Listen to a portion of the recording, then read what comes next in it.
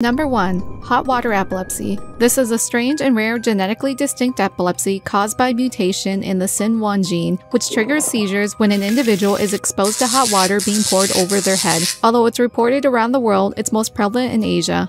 Number 2. Gelastic seizure, also known as laughing seizures. This type of seizure induces episodes of uncontrollable laughter or giggling. These are most often caused by masses in the part of the brain called the hypothalamus. Despite the appearance of happiness, those experiencing these seizures often feel frightened as they cannot control their laughter at appropriate moments.